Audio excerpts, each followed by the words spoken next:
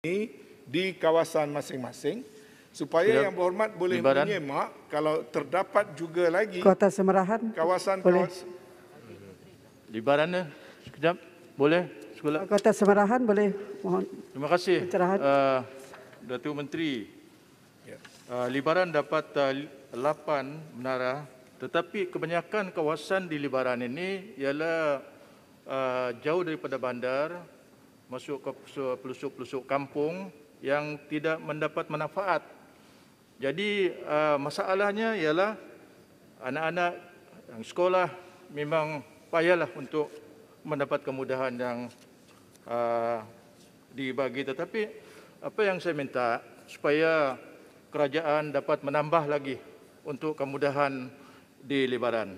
Terima kasih. Terima kasih. Satu lagi Menteri. Uh, Betul. Kota Semerahan. Kota Semarahan. Ah, Ringkas.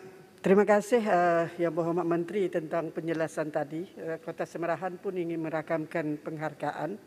Namun begitu dalam kes uh, apa nama, perkara telekomunikasi bukan saja prasarana yang perlu di, ditekankan. Ha?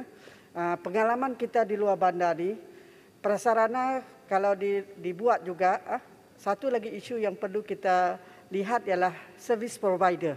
Ah, service provi- provider.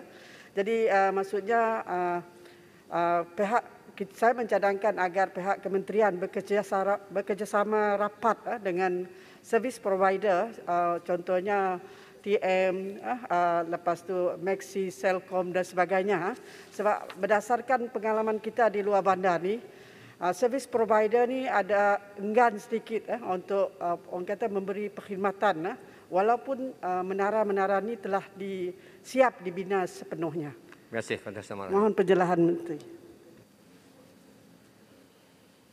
Terima kasih Muhammad. Saya faham dan kita perlu menguruskan keseluruhan ekosistem yang berkaitan dengan soal kemudahan jalur lebar ini. Dan untuk makluman Tuan Yang Pertua, saya telah membuat engagement secara berasingan dengan setiap service provider.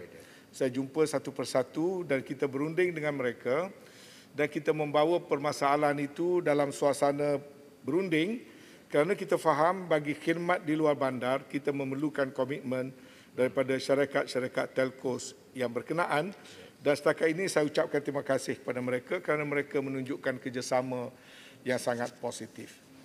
Tuan Yang Pertua, saya Sol- tidak nak mengambil masa yang Soalan lebih tambahan. panjang. Soalan